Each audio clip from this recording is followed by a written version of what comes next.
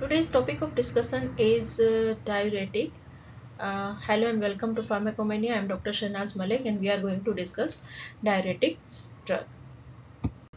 Before we jump to diuretic drug, we should know about the physiology of urine formation and function of kidney. So kidney is regulatory organ Nephrons are functional unit of kidney, glomerular site of ultrafiltration.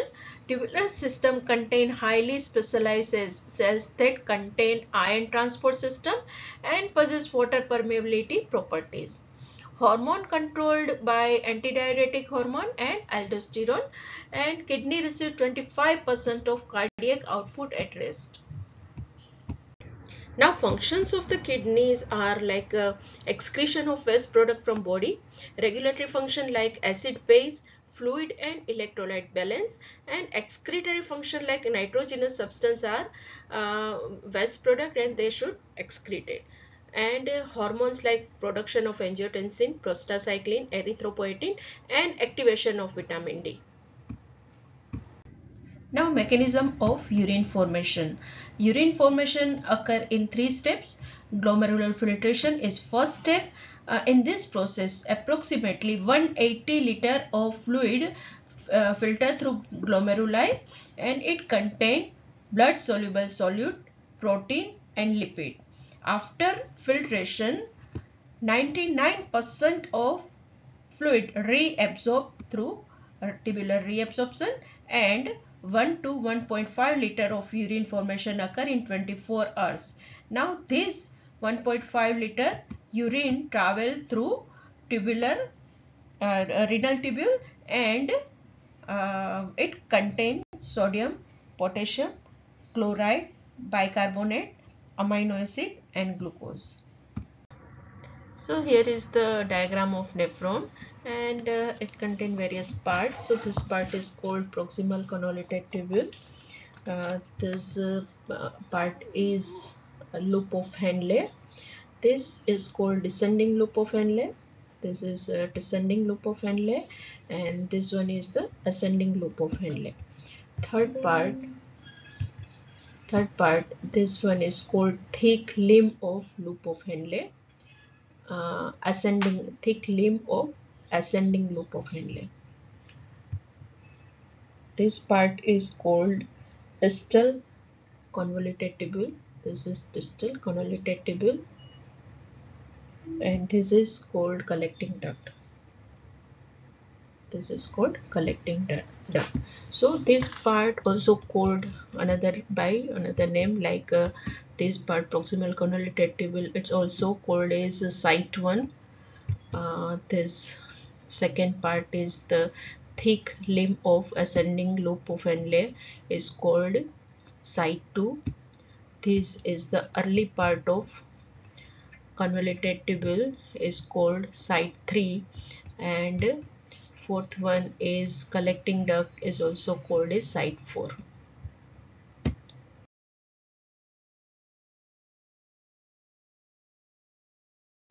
So here is the proximal convoluted tubule. It's also called as site 1 where sodium filter through glomerulus and enter into proximal tubule where it actively reabsorb from the proximal convoluted tubule and chloride passively reabsorb from this site. Now potassium glucose and amino acid also reabsorb from the proximal convoluted tubule. And proportionately water gets reabsorbed. So tubular fluid remain isotonic in proximal convoluted tubule. Now this is the descending loop of Henle. It is impermeable to sodium and urea so sodium and urea remain in the tube but it is highly permeable for water so water reabsorb from uh, descending loop of Henle and sodium and urea remain in the descending loop of Henle. So fluid of the descending loop of Henle will remain hypertonic. Now ascending loop of Henle where it is impermeable for water and highly permeable to sodium and chloride uh, and it is sodium and chloride reabsorb through sodium potassium to chloride co-transporter pump. So here is the sodium potassium to chloride co-transporter where sodium and chloride reabsorb through, through this pump. Calcium and magnesium also reabsorb from this site and so uh, water is impermeable so tubular fluid remain hypotonic. This part is early distal convoluted tubule where water is impermeable but sodium and chloride is reabsorbed with the help of sodium chloride symporter. So uh, the fluid remain hypotonic at this side. In distal part of uh, convoluted tubule and collecting duct, uh, sodium actively reabsorb and chloride and water reabsorb passively. Exchange of sodium and hydrogen ion occur and sodium and potassium exchange under the influence of aldosterone and aldosterone promote reabsorption of water and depletion of the potassium. So excretion of potassium will increase and reabsorption of water occur due to aldosterone. In absence of aldosterone there will be uh, collecting duct this collecting duct is become impermeable to water and so large amount of diluted urine will excreted. Now classification of diuretic highly efficacious diuretic medium efficacious diuretic and weak diuretic. So first high efficacious diuretics are uh, loop diuretics drugs are furosemide, bumetanide and torsemide. These are highly efficacious drugs and uh, second one is the medium efficacious diuretic or thiazide diuretic and drug is, is thiazide and chlorothiazide. Weak diuretics are carbonic and anhydrase inhibitor drugs is acetazolamide. Osmotic diuretic drug are uh, mannitol and glycerol. Third group is uh, potassium sparing diuretic drug is spironolactone. Now site of action of loop diuretic is descending loop of thick uh, limb of descending loop of Henle. This is the site of action of loop diuretic. Now loop diuretic it also called as high ceiling diuretic. So site of action is loop of Henle at the thick ascending limb of loop of Henle. It inhibits sodium potassium to uh, chloride symport. So ultimately it in, um, inhibit reabsorption of sodium, chloride, potassium, calcium, magnesium and hydrogen. Ultimately increase the excretion of all the electrolyte uh, and result of hyponatremia, hypotension, dehydration, hypokalemia, hypocalcemia, hypomagnesemia, hypokalemic metabolic alkalosis can occur. If excess use continuous dose then electrolyte disturbance can occur. Effect of loop diuretic on the renal and extrarenal effects. So first is the extrarenal effect on intravenous infusion. Direct vascular effect can occur. Acute increased systemic venous capacitance causes vasodilation occur. Shift blood from the central pulmonary to systemic vessel. Thereby decrease left ventricular filling pressure and rapid relief pulmonary edema. Now, renal effect will be due to intravenous infusion, acute change in renal and systemic hemodynamics, increased prostaglandin synthesis in kidney and increased renal blood flow and GFR, quick relief in left ventricular and pulmonary, uh, left ventricular failure and pulmonary edema. Why loop diuretics are called high ceiling diuretics? uh, high dose produce increase the dose of diuretic causes stronger diuretic effect than the lower doses so it is called high ceiling diuresis now therapeutic uses of loop diuretics are uh, like it is useful in edema irrespective of origin. It may be uh, maybe due to nephrotic cardiac or renal cause. It can be used.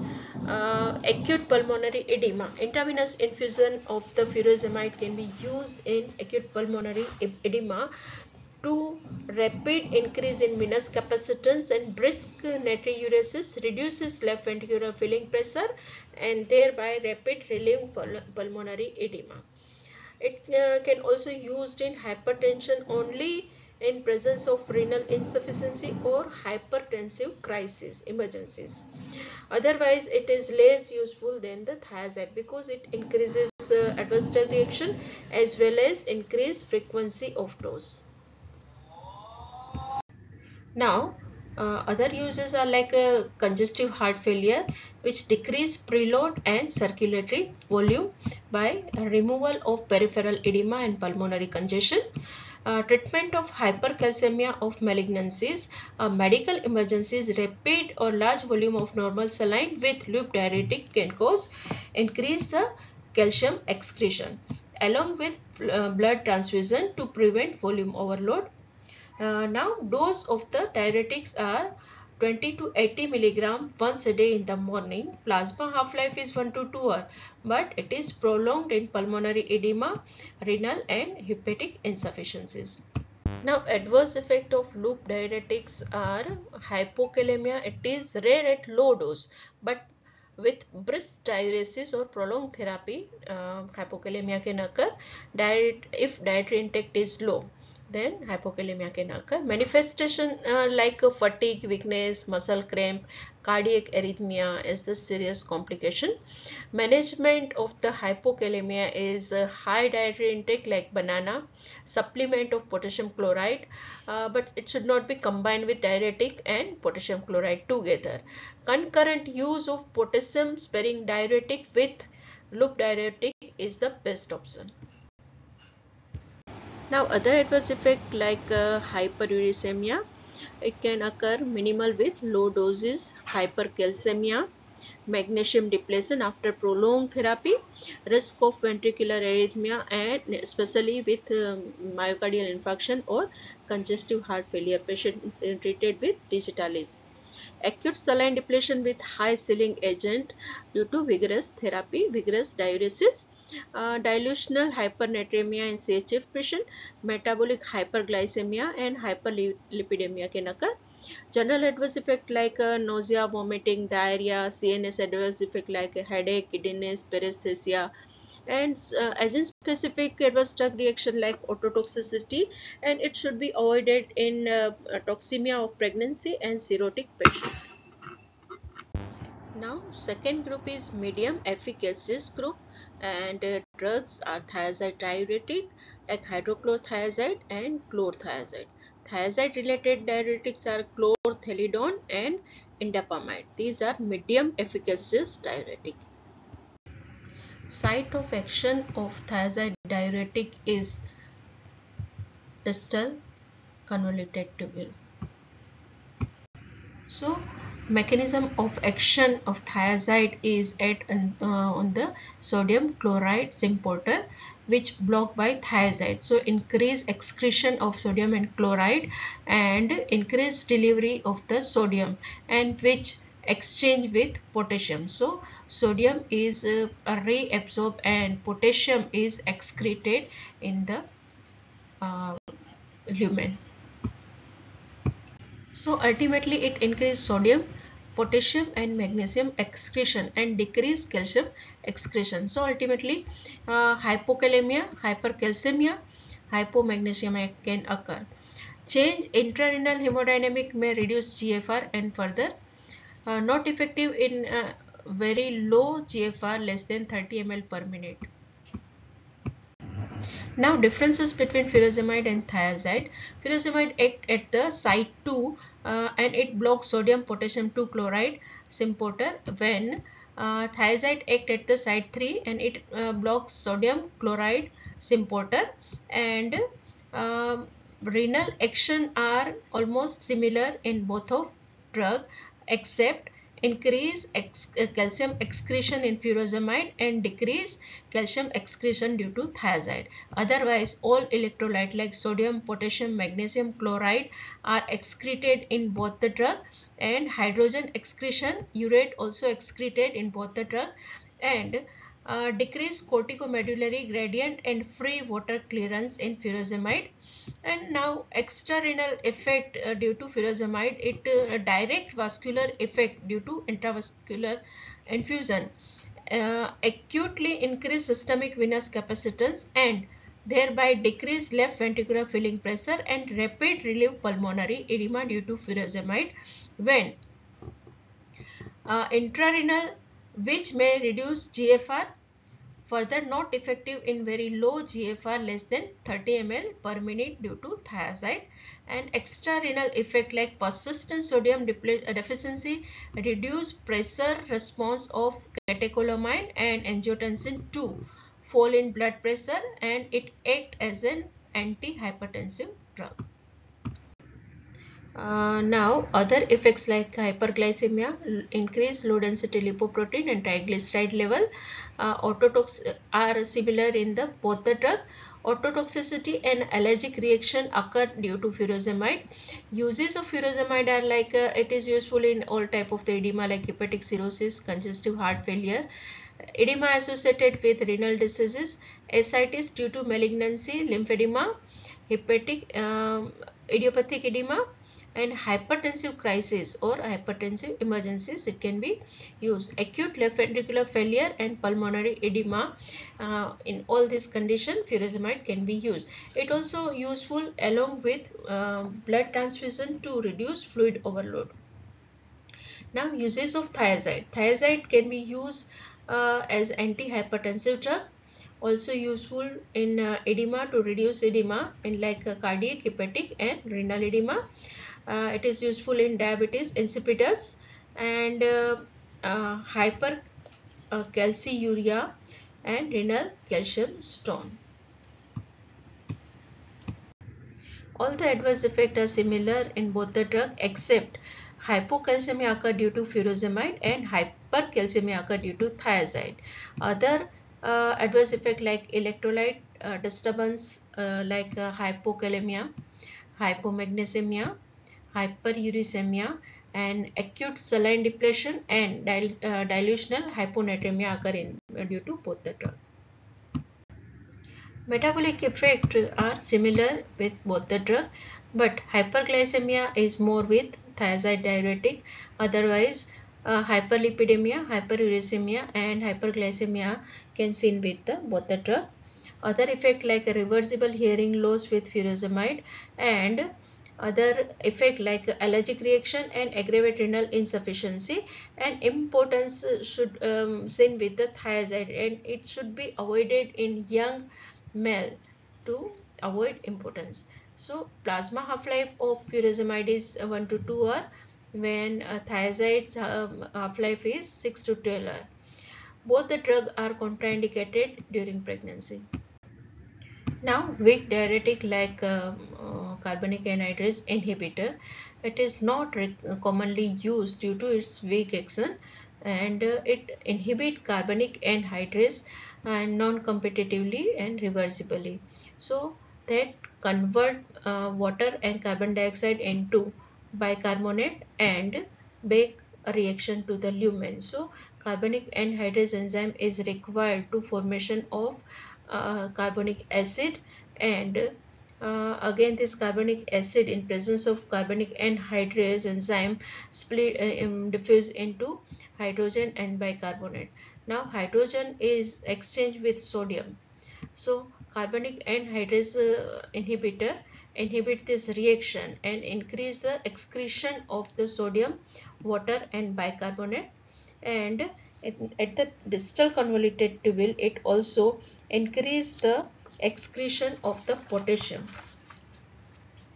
so ultimately it uh, increase the excretion of sodium potassium bicarbonate and water so extrarenal action is decrease intraocular tension decrease gastric acid secretion decrease pancreatic bicarbonate uh, sodium bicarbonate and raise level of carbon dioxide in the brain and raise seizure threshold. Now uses of carbonic anhydrase uh, inhibitors. It can be used in glaucoma to reduce aqueous humor formation, nausea and vomiting associated with acute mountain sickness, epilepsy adjuvant therapy to retard abnormal excessive discharge of CNS neuron, reversal of metabolic alkalosis and alkalizing urine for to alkalizing urine for urinary tract infection and promote excretion of acidic drug. Adverse effects are like metabolic acidosis due to loss of bicarbonate, hypokalemia, loss of potassium at the collecting duct, fatigue, abdominal discomfort, hypersensitivity reaction and rare condition is the bone marrow depression and it is contraindicated in liver disease. Now potassium sparing diuretics are aldosterone antagonist, drug is spironolactone and direct inhibitor of renal epithelial sodium channel. Drugs are amiloride and triamterene. Physiologically, aldosterone enter into the cell and bind with the mineralocorticoid receptor and form the hormone receptor complex. Now this hormone receptor complex enter into the nucleus and form the specific type of the protein. Now this protein act on the sodium and potassium which increase excretion of potassium and uh, reabsorption of the sodium. Now spironolactone is the aldosterone inhibitor. So it bind with the mineralocorticoid receptor and form the uh, drug mineralocorticoid complex. Now this complex is entered into the nucleus and inhibit the formation of the that specific type of protein. So it uh, increase the excretion of sodium and uh, reabsorption of the potassium. So increase the potassium level in the body. So it can be combined with uh, potassium depleting diuretic like furosemide and thiazide to increase efficacy of the drug. Now adverse effect of the aldosterone antagonist hyperkalemia occur uh, like estrogen like effect like uh, menstrual disturbances gynecomastia and decreased libido in the male patient. And uh, abdominal upset and drowsiness occur. Pharmacokinetic of uh, uh, spironolactone it can be given orally. Microfine powder tablets are available. Bioavailability is 75% and metabolized by liver. Converted into active metabolites like canrenone and potassium canrenoate is uh, water soluble and can be given intravenously and gets converted into canrenone onset of action is low because they are steroid receptor drug so it takes time for action. Therapeutic uses of spironolactone are uh, it can be used in edema like congestive heart failure cirrhotic edema and nephrotic syndrome it breaks resistance to thiazides or furosemide in refractory edema. Counteract potassium loss due to thiazide and furosemide so it can be combined with both this drug. And in hypertension it can be combined with thiazide or furosemide. Eplerenone is newer drug approved for hypertension and no gynecomastia occur due to this drug congestive heart failure as an adjuvant therapy it retard disease progression and reduce mortality resistant hypertension due to primary hyperaldosteronism. In this condition, spironolactone can be used. Now, triamterene and amiloride, these both drug are directly, directly acting potassium sparing diuretic. They direct inhibit sodium channel in luminal membrane of cell at the distal convoluted tubule and collecting duct. So, sodium excretion and potassium retention occur. So valuable in combination with potassium depleting agent especially in uh, and is uh, in antihypertensive therapy. So uses are it can be used in uh, hypertension in combination therapy with thiazide and loop diuretic and amiloride useful for the treatment of lithium-induced nephrogenic diabetes insipidus as well as aerosol in aerosol form to improve mucociliary clearance in cystic fibrosis. Now adverse effect of um, potassium sparing diuretic uh, are hyperkalemia and photosensitivity. Now osmotic diuretics drugs used are mannitol, glycerol and isosorbide. Ideal properties of uh, osmotic diuretics are well absorbed, not metabolized, freely filter at the glomeruli, not reabsorb, it is inert substance and cheap. Osmotic diuretics are inert pharmacologically and they are not act through receptor or target site. They are freely filtered through the glomerulus and increase osmolar osmolarity of the tubular fluid, hinder water reabsorption in proximal tubule, descending loop of Henle and collecting duct, diluted urine uh, diuresis with mild natriuresis can occur and expand extracellular fluid volume increase renal blood flow and GFR never used for the chronic edema or as an natriuretic. Uh, mannitol is pharmacologically inert substance. Uh, it is uh, freely filtered from the glomerulus and administered intravenously. It is neither metabolized nor uh, reabsorbed from the renal tubule. Osmotic diuretics are useful in acute renal failure in treatment as well as prevention uh, to maintain uh, GFR during major surgeries, trauma cases and uh, hemolytic reaction. It lower the intracranial tension and it is useful during before the brain surgery and cerebral edema. It uh, also reduces the intraocular tension so it is useful in acute glaucoma and before intraocular surgeries. It uh, also useful uh, in forced diuresis in drug poisoning and to counteract low plasma osmolality uh, after dialysis. Adverse drug reaction due to osmotic diuresis are uh, acute intravascular volume expansion can occur. Before diuresis starts, it exerts an osmotic effect on the blood, contraindicated in pulmonary edema, cardiac edema and intracranial hemorrhage and established renal failure. Thrombophlebitis can occur. Headache may be due to hyponatremia and nausea can occur. If overdose uh, is there, dehydration and hypernatremia can occur. Now drug interaction. Furosemide or thiazide with digoxin. This diuretic causes hypokalemia which increase the binding of digoxin to sodium potassium ATPase leading to digoxin toxicity and cardiac arrhythmia can occur. High ceiling diuretic with aminoglycoside both the drug causes ototoxicity and cause enhanced toxicity together. Furosemide with non-steroidal anti-inflammatory drug. Uh, NSAID can cause retention of sodium and water and diminish antihypertensive effect of the loop diuretic or thiazide. Furosemide and or thiazide with lithium.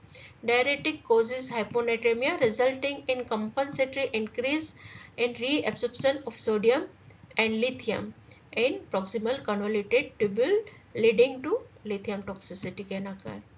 Furosemide or chlorthalidone with amiloride.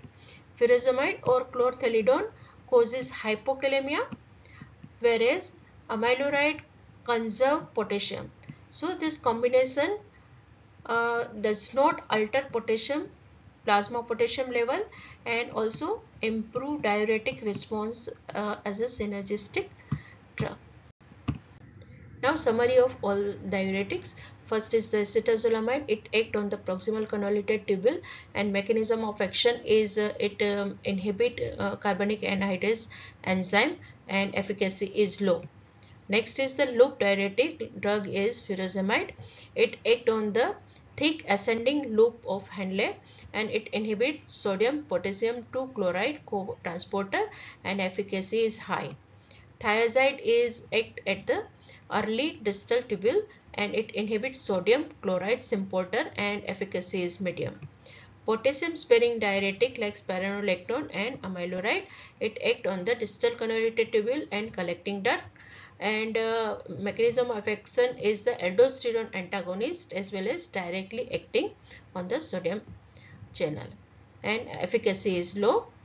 Mannitol, it is the loop, it act on the loop of Henle as well as proximal convoluted tubule and it is osmotic diuretic and effect is osmotic effect and efficacy is high. Thank you for watching the video.